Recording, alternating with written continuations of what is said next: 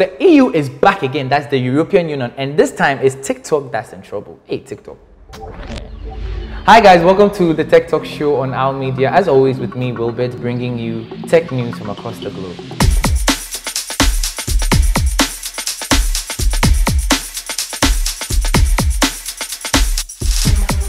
So for our first story, MTN South Africa is switching to solar energy. Now this is to help it, uh, the company reduce its reliance on uh, South Africa's energy grid or power grid and also help in the fight against you know, uh, carbon emissions and global warming. To reduce um, reliance on South Africa's strained power grid, MTN has undertaken a major solar energy uh, project at its Johannesburg headquarters with over 5,400 solar panels now active. MTN is now on track to make its head office 40% less dependent on the municipal grid by the end of February. The telecom provider's phased approach aims to inject a total of 1,800 kilowatts um, into the office's microgrid. This will significantly curb the impact of widespread power blackouts known as load shedding that has plagued South Africa in recent years. With battery storage facilities slated for completion by March, MTN is leading the charge to keep operations running amidst the country's energy crisis. This move aligns with MTN's commitment to get its base stations completely off the grid and invest over 84 million to mitigate blackouts. Last year, the load shedding cost the company about 38 million in losses. Ooh, that's, that's a lot of money. Um, now, MTN is turning to the sun to safeguard connectivity for millions of subscribers. So I think this move by MTN should be adopted by many more um, agencies across Africa, especially in Nigeria, actually. The blackouts really cost a lot to um, businesses across Africa, especially in Ghana and Nigeria, like I've mentioned earlier. So MTN should seek to replicate this in Nigeria as well and in Ghana. So by becoming an independent power producer, that's an IPP, and also by deploying various renewable technologies, MTN seeks to bolster um, energy security while reducing environmental impact. So I, I believe um, many more corporations, like I said, should take this upon themselves to switch completely or gradually to renewable energy. Stadiums, ministries, schools, you know, large corporations across Africa should switch to renewable energy. Okay, so the EU is back again, that's the European Union, and this time it's TikTok that's in trouble. Hey, TikTok. Hmm.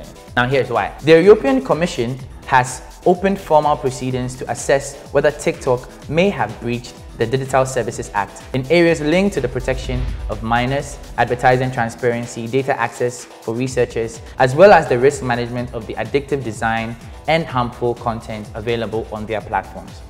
On the basis of the preliminary um, investigation conducted so far, including um, the analysis of the risk um, assessment report sent by TikTok in September 2023, um, as well as TikTok's replies to the Commission's formal request for information on illegal content, protection of minors, and data access, the Commission has decided to open formal proceedings against TikTok under the Digital Services Act. Now, here's what two individuals from the uh, European Commission had to say. So Margaret Vestager uh, said the safety and well-being of online users um, in Europe is crucial. TikTok needs to take a close look at the services that they offer and carefully consider the risks that they pose to their users, young as well as old. The Commission will now carry out in-depth investigation without prejudice to the outcome.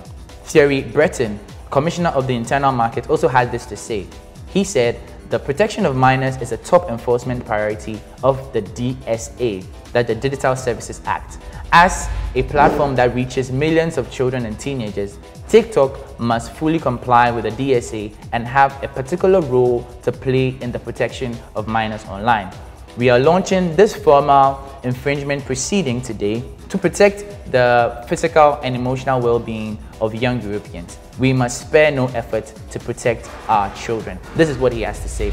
So social media has many adverse effects on kids, especially children under the age of 13. I mean, uh, they are not well informed about privacy, they are not well informed about the adverse effects of social media. Some of them get so addicted to social media. And so because TikTok is one of the um, online platforms that has amassed you know, so many great users, especially children, the EU is trying to pin them down to do more to control the activities of kids online.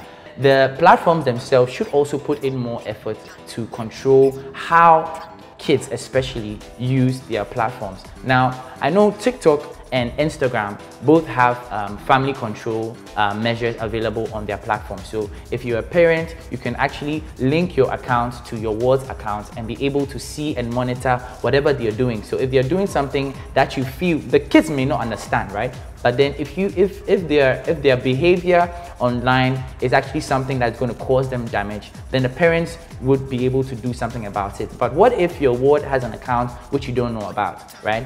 What measures have been put in place by TikTok and by Instagram and other online platforms to actually ensure that kids are protected? So here are some adverse effects of social media on kids, right? It impedes their psychological development. That's excessive screen time hinders social and emotional development. It also causes cyberbullying. You know, vulnerable um, kids are vulnerable to harassment, bullying, and negative interactions from peers online. It also has privacy concerns. You know, kids have a limited understanding of online privacy, leading to oversharing of personal information. Some very unscrupulous men uh, pretend to be young uh, guys, you know, under the ages of 15, and so pair themselves with young children and actually molest them in the end. So I mean, uh, a lot more should be done to check these privacy concerns. And lastly, Kids are easily drawn to addictive behavior due to the reward system inherent on social media. You know social media, if you post more, you get more likes, right? And kids, you know, may tend to become very addicted to this. So kids may suffer stress when they lose followers or when their friends break their streak. Just imagine, you know, your kid is on Snapchat, has a, a streak of about 180 days, and all of a sudden their friend breaks it. It can actually cause them so much emotional damage. I've seen um, many videos online of kids crying and even you know breaking up their relationships, fighting with their friends just because their streak on Snapchat was broken. So there are so many concerns you know for social media and the use of social media, especially by kids, that a critical look needs to be taken at. Rice is not included in Apple's official guidance for wet phones. Here's what I mean. Now, when your phone falls into water, the first thing you'll be told to do is to put it in a bag of rice. But this is so wrong, and Apple has even included it in their official statement or official guidance for how to deal with a wet phone. So contrary to popular advice, Apple, like most uh, people in tech, explicitly advise against putting your wet phone in a bag of rice. Do not put your iPhone in a bag of rice. Doing so could allow small particles of rice to damage your iPhone. Apple documented this um, and said, Rice is not included in Apple's official guidance for a wet phone because it is not an effective method for drying out electric devices. Can you imagine? I have wasted so much time. There was one time my phone fell in gutter and I put it in rice, thinking that this would actually help. Did it really help? I mean, what's, what did I do wrong? While rice can absorb moisture, it is not particularly efficient at drawing out water from intricate components like those found in smartphones. Additionally, rice particles can get lodged in ports and other openings, potentially causing further damage. So now here's what to do.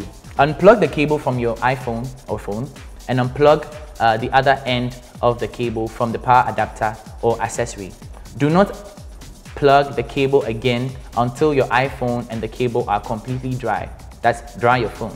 So step one, tap the iPhone gently against your hand with the connector facing downwards to remove the excess liquid. Leave your iPhone in a dry area with some airflow. Two, after at least 30 minutes, try charging uh, with a lightning or USB-C cable or connecting an accessory. If you see the alert again, there is a liquid in the connector or under the pins of your cable. Leave your iPhone in a dry area with some airflow for up to a day. You can try again to charge or connect an accessory throughout this period. It may take about 24 hours to fully dry up.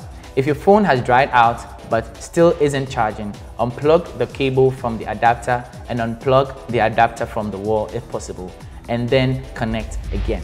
So in these few steps, you can actually salvage or save your phone uh, from getting destroyed by water. But remember, do not put it in rice. It's ineffective. Great, so we've come to the end of another episode. As always, with me, Wilbert, bring you tech news from across the globe. If you enjoyed this episode, if you have any questions on technology, leave them in the comments. If you would want us to touch on a few things that are of interest to you, leave it in the comments. Like, share, comment, subscribe. Don't forget to turn on the post notification button so that you get instantly updated whenever we make a new post. Peace.